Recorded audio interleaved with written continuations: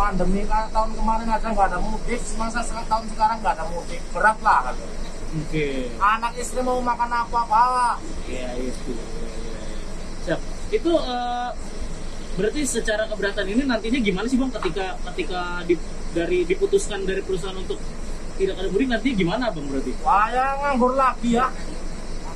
Nah, supaya kediri jomplang kalau orang Jawa bilang ya. Nggak bisa makan lagi udah.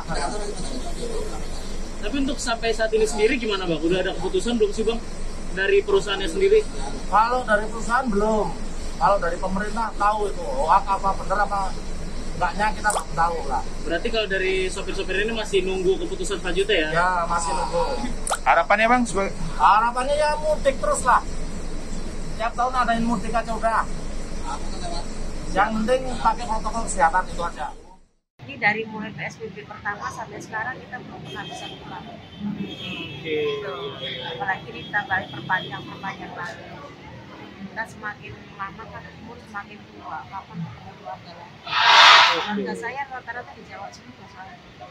Saya cuma berdua di sini. Nah, kalau dari pihak PO sendiri gimana tuh Bu? Merasa dirugikan nggak sih nantinya dengan Jelas dong. Jelas. Dari awal PSBB pertama sampai sekarang aja kita paling 20% doang penghasilan.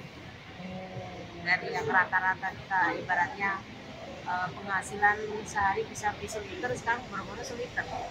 Walaupun ada bantuan dari pemerintah juga percuma saya rasa. Nggak menunjang. Soalnya kita kebutuhannya nggak cuma makan doang. Makan tercukupi, tapi kebutuhan yang lain, sosialisasi ke masyarakat kan kita perlu juga.